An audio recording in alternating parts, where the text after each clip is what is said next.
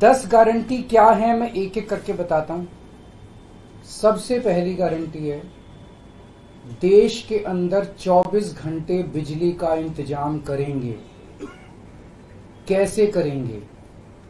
हमारे देश में तीन लाख मेगावाट बिजली प्रोड्यूस करने की क्षमता है, कैपेसिटी है।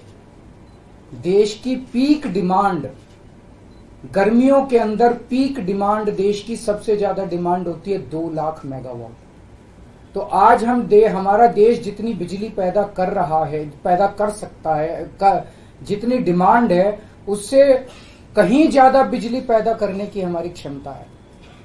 लेकिन मेरे घर के अंदर फिर भी पावर कट लग रहे हैं। क्यों? मैनेजमेंट खराब है। दिल्ली में भी यही हाल था पंजाब में भी यही हाल था बिजली तो थी।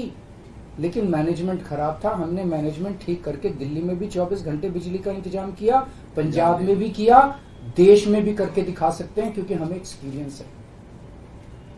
देश के गरीब लोगों को बिजली मुफ़्त दी जाएगी।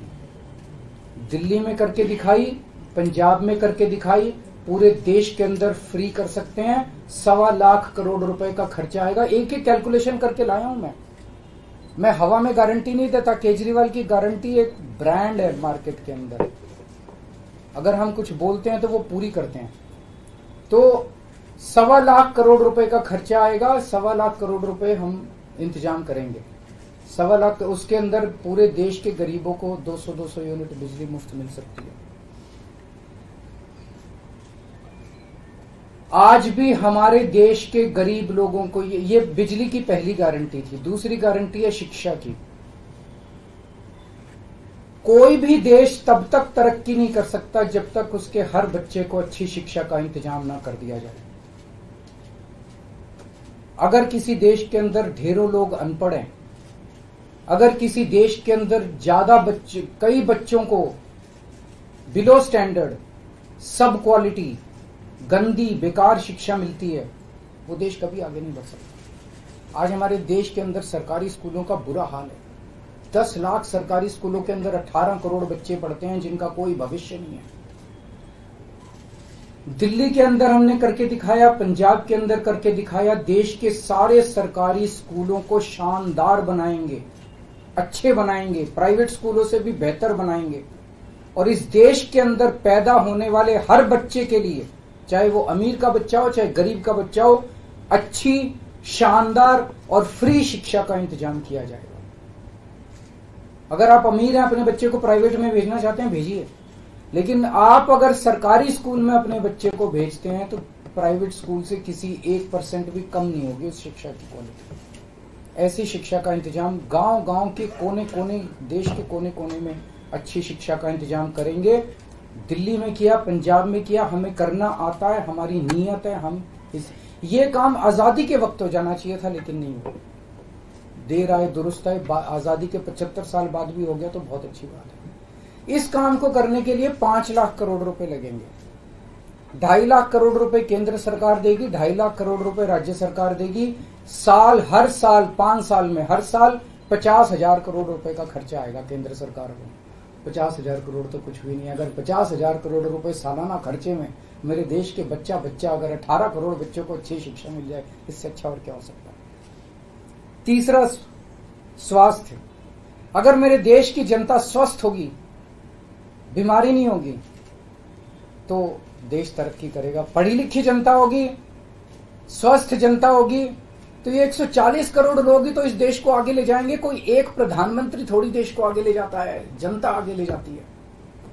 तो सब लोगों को अच्छे इलाज का इंतज़ाम करेंगे। आज अगर किसी को, के घर में कोई बीमार हो जाए, बड़ी बीमारी हो जाए, सरकारी अस्पतालों का बुरा हाल है पूरे देश के अंदर और प्राइवेट वालों ने लूट मचा रखी है।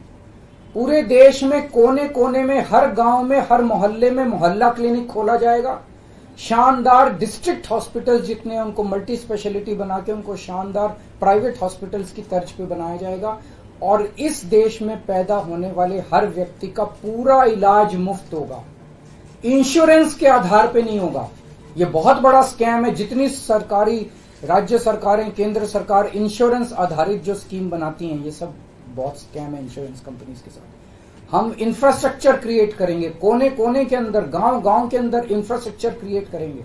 हेल्थ इंफ्रास्ट्रक्चर क्रिएट करेंगे। अस्पताल बनाएँगे, मोहल्ला क्लिनिक बनाएँगे, ताकि लोग वहाँ जाके अपना इलाज करा सकें। और सबका इलाज मुफ़्त होगा, चाहे अमीर हो, चाहे गरीब हो। इसके लिए भी पाँच लाख करोड़ रुपए का खर्चा आएगा। ढाई लाख करोड़ राज्य सरकार देगी, ढाई लाख करोड़ केंद्र सरकार देगी। पाँच साल के अंदर पाँच लाख करोड़ रुपए हर साल पचास पचास हज़ार करोड़ का खर्चा आएगा। राष्ट्र सर्वोपरि हमारी चौथी गारंटी। चीन ने हमारे देश की ज़मीन पे कब्जा कर लिया। हमारी केंद्र सरकार से जब भी पूछा जाए, वो कहते हैं, कोई नहीं आया, कुछ नहीं हुआ। सब जानते हैं, पूरी दुनिया जानती है, सैटेलाइट का जमाना है। सबके पास तस्वीरें हैं कि किस तरह से चीन ने हमारी सरजमी के ऊपर, घुस के और उसके, हमारी ज़मीन के ऊपर कब्जा कर लिया। जुठलाने से समस्या का समाधान नहीं होगा, लोगों से छुपाने से समस्या का समाधान नहीं होगा। हमारे देश की सेना के अंदर बहुत ताकत है। हमारे देश की सेना को एक बार इजाज़त तो दीजिए, उसको स्वतंत्रता तो दीजिए काम करने की। वो देखिए आपको जीत के लाती है। तो हमारे देश की जितनी ज़मीन पे चाइना ने कब्जा किया हुआ है, उस ज़मीन को चाइना के कब्जे से छुड़वाएँगे। इसके लिए एक तरफ़ डिप्लोमेटिक लेवल पे एफर्ट्स किए जाएँगे और सेना को पूरी स्वतंत्रता दी जाएगी कि वो इसके बारे में जो कदम उठाना चाहे, कदम उठा सकती है। सेना को आज जो रोका जा रहा है, वो रोका नहीं जाएगा। आज हमारी ये अग्निवीर योजना जो है कि हमारे युवाओं को फौज में भर्ती करके चार साल के बाद निकाल दिया जाता है। लोगों की एक ओनरशिप नहीं बनती। चार साल के बाद अगर आप निकाल देंगे तो एक तरह से हम सेना को सबसे कटिंग एज लेवल के ऊपर हम कमज़ोर कर रहे हैं। ये अग्निवीर योजना सेना के लिए भी बहुत हानिकारक है, और जो बच्चे युवा हमारे अग्निवीर बन के जा रहे हैं, वो लोग भी बहुत त्रस्त हैं। अग्निवीर योजना को बंद किया जाएगा। जितने बच्चों को अभी तक अग्निवीर में शामिल किया जाए उनको पक्का डिक्लेयर किया जाएगा उनको पक्का राष्ट्रीय सम्मान भी नहीं मिलता। संस्कार के समय तो उनको पक्का किया जाएगा उनको पक्का डिक्लेयर किया जाएगा और सेना के अंदर ये ठेकेदारी के ऊपर एक तरह से कच्चे में अग्निवीर तो कच्ची नौकरी हुई ना कच्ची नौकरी ये बंद की जाएगी और वापस पक्के के अंदर बच्चों को लिया जाएगा और सेना को ये अग्निवीर योजना लाए थे क्योंकि केंद्र सरकार का मानना था कि सेना के ऊपर उनकी तनख्वाह और उनकी पेंशन के ऊपर पैसा ज़्यादा खर्च हो रहा है। सेना के ऊपर उस देश की सुरक्षा के ऊपर जितना पैसा खर्च करने की ज़रूरत है, उतना पैसा खर्च किया जाएगा। देश की सुरक्षा के साथ खिलवाड़ नहीं किया जा सकता। छठी गारंटी किसानों के लिए। किसानों को आप इज़्ज़त की ज़िंदगी दे सकते हैं अगर आप उनको उनकी फ़सलों के पूरे दाम दे दें। किसान कोई भीख नहीं मांग रहा, किसान अपना हक मांग रहा है। किसान अपनी बारिश में, धूप में मेहनत करके और अपनी फ़सल उगाता है। और उसके बाद जब उसको फ़सलों के पूरे दाम नहीं मिलते, तब वो अपने ऋण नहीं चुका पाता, आत्महत्या करने के लिए मजबूर होता अगर आप उसकी फ़सलों के दाम सुनिश्चित कर दें तो किसान आप, किसान को आपसे कोई फेवर नहीं चाहिए। स्वामीनाथन रिपोर्ट के आधार के ऊपर किसानों को उनकी फ़सलों के पूरे, सभी फ़सलों के पूरे दाम एमएसपी के आधार पर पूरे दाम दिलवाए जाएँगे। सातवीं गारंटी दिल्ली को पूर्ण राज्य का दर्जा दिलवाया जाएगा, जो दिल्ली वासियों का कई दशकों से दिल्ली के लोगों का हक है।